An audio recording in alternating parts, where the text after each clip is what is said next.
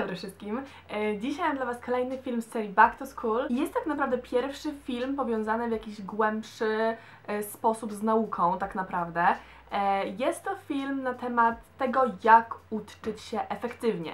I pod ostatnim, zdaje się, filmem jedna z Was zapytała mnie, czy mogę zrobić film i nazwała to w taki bardzo prosty, kolokwialny, ale adekwatny sposób, czyli jak się uczyć, żeby się nauczyć. Jest to bardzo dobre pytanie, które zadaje sobie każdy z nas na początku nowego roku szkolnego. I słuchajcie, pomyślałam, że wykorzystam też e, w pewien sposób fakt, że oboje moich rodziców są nauczycielami. Moja mama jest nauczycielem chemii, e, a mój tata jest nauczycielem fizyki. E, I zapytałam ich po prostu e, ich doświadczenia, jakie są najlepsze metody e, na naukę, tak naprawdę na każdym poziomie nauki, e, jakby przez współpracę z nimi, ale też e, myśląc nad tym sama trochę e, i nad swoim oczywiście przykładem wszystkich moich lat edukacji, chciałam Wam przedstawić pięć rzeczy, które oboje moi rodzice wymienili i też z mojego doświadczenia ja uważam, że są najbardziej potrzebne, jeżeli chodzi o efektywną naukę. Nie taką naukę, wiecie, żeby zdać, zakuć, zapomnieć, czy tam zakuć, zdać, zapomnieć, e, tylko żeby ta wiedza została nam na dłużej. Pierwsza podstawowa rzecz to jest coś, co już chyba zdaje się o tym kiedyś mówiłam,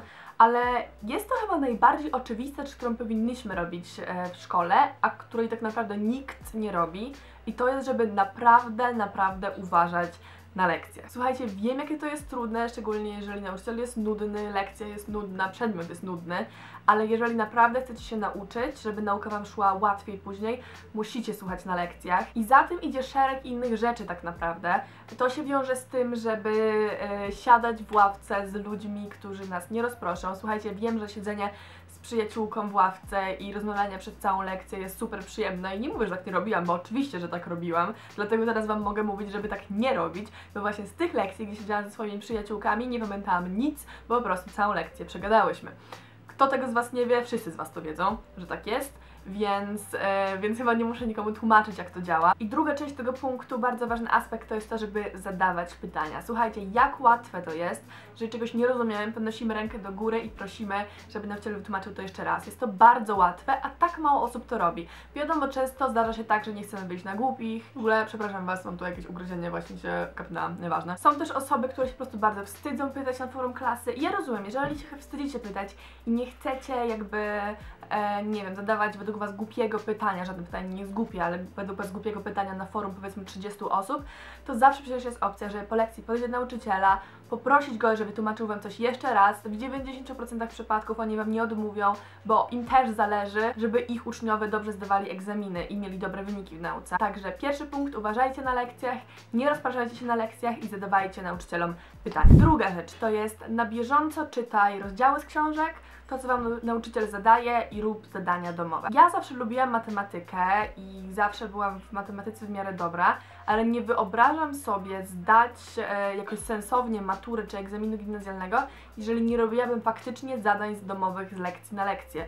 Bo nie wyobrażam sobie nauczyć się całego roku matematyki naraz, tak żeby dokładnie wszystko wiedzieć. Jest to niemożliwe praktycznie. Szczególnie z takich rzeczy jak matematyka, fizyka, przedmioty ścisłe, musicie po prostu robić, robić zadania na bieżąco, uczyć się na bieżąco. Tak samo z przedmiotami humanistycznymi. Ciężko będzie przeczytać Wam trzy grube książki z historii na egzamin na koniec roku na przykład. A jeżeli czytałyście już faktycznie z lekcji do lekcji wszystko, co Wam nauczyciel mówił, czyli rozdział po rozdziale, to po prostu macie już tą książkę przeczytaną. To, że nauczyciele każą Wam robić zadania z lekcji na lekcję, to nie jest jakiś ich wymysł, tylko jest naprawdę, naprawdę potrzebna rzecz do systematycznej nauki. Ja Wam mogę powiedzieć tyle, że jestem teraz na studiach i nauczyciele już nam e, nie każą robić nic z zajęcia na zajęcia, ale szczerze mówiąc, wolałam jak nauczyciele w szkole nam kazali to robić, bo teraz sama czasami się zdarzy tak, że nie czuję takiej presji, nie muszę tego zrobić, więc tego nie zrobię, bo mam inne rzeczy na głowie, a kiedy wiedziałam, że nauczyciel wymaga tego ode mnie, to to zawsze robiłam. Więc nie lekceważcie zadań domowych i czytań, które zdają Wam nauczyciele. Punkt trzeci. Usuwaj wszystkie rzeczy, które przeszkadzają Ci w nauce.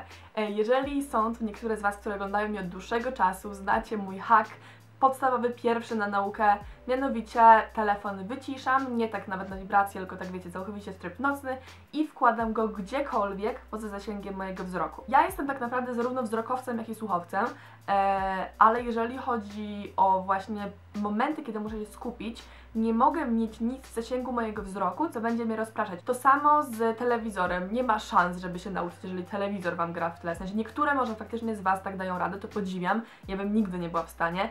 Nie jestem w stanie się uczyć, kiedy na przykład mam otwarty komputer, bo co 5 minut, a może sprawdzę, czy są nowe buty na ASOS.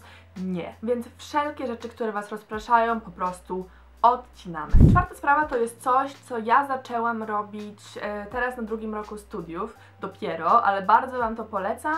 E, a mianowicie, żeby czytać wszystkie notatki poprzedniej lekcji zaraz przed następną lekcją. E, I oczywiście robiłam to, kiedy były takie przedmioty, że nas odpytywali. Ja nie wiem, jak to teraz działa u Was, bo coraz, wydaje mi się, że coraz mniej nauczyciele faktycznie odpytują przy tablicy.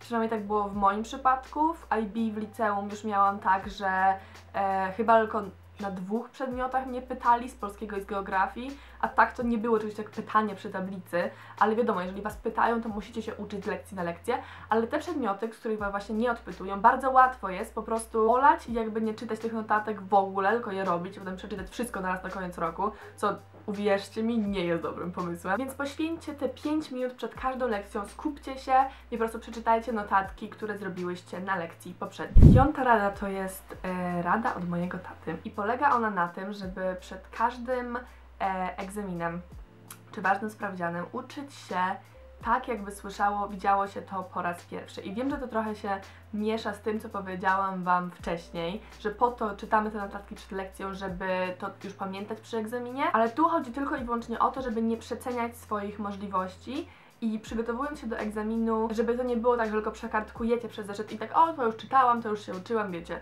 tylko powtórzyć. Nie. To ma być tak, że traktujecie to, jakby się uczyły, widziały to pierwszy raz i jakbyście się uczyły tego pierwszy raz. A jeżeli macie to już w głowie, bo na przykład czytałyście notatki, to tylko plus dla Was, będzie po prostu Wam się łatwiej tego uczyć. Ja miałam taki przypadek na swoim pierwszym roku studiów, mieliśmy przedmiot ekonomia i dużo osób przychodząc na te studia miało już wcześniej ekonomię w liceum. I nasza nauczycielka, pierwszą rzeczą, którą powiedziała na studiach, jest taka, że zazwyczaj osoby, które miały już ekonomię w liceum i teoretycznie wszystko to wiedzą, dostają niższe oceny na koniec roku z tej ekonomii na studiach, niż osoby, które wcześniej nie miały żadnej styczności z ekonomią. Dlaczego? Ponieważ te osoby myślą, o już to wszystko miałem, tylko sobie coś tam powtórzę i zdam.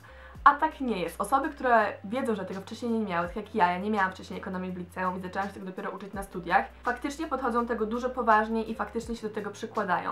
Dlatego nigdy nie przeceniajcie tego, co umiecie, zawsze e, się wszystkiego, jakbyście widziały to pierwszy raz. Tak jak mówię, jeżeli już trochę umiecie, to tylko korzyść dla Was. Słuchajcie, to było wszystko na dzisiaj. E, mam nadzieję, że taki film o tych produktywnych, efektywnych metodach e, nauki Wam się spodobał. I widzimy się za 3 dni w nowym filmie z serii Back to School. Pa!